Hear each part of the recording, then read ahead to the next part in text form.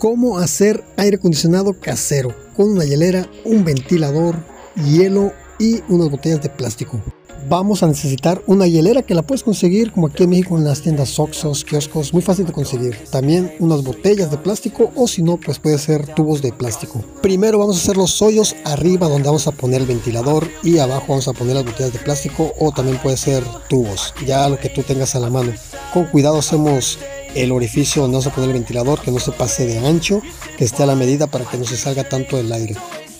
Y parece que ahí queda perfectamente el ventilador. También es un ventilador chico, eh, depende del ventilador que tengas, hay más chicos, más grandes, vas a hacer el orificio. Aquí vamos a preparar la botella de plástico que vamos a insertar en, en el orificio que acabamos de hacer y ahí quedó.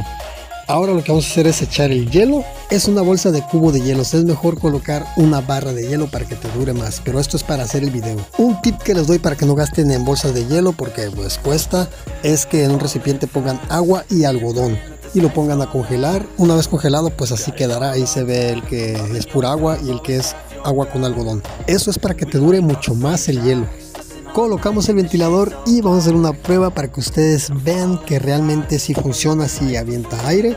También quiero darle créditos por este video, por estos tips que nos ha pasado Juan Manuel Zavala. Les dejaré su TikTok en la descripción del video para que vayan a seguirlo y vean su contenido. Muchas gracias Juan Manuel.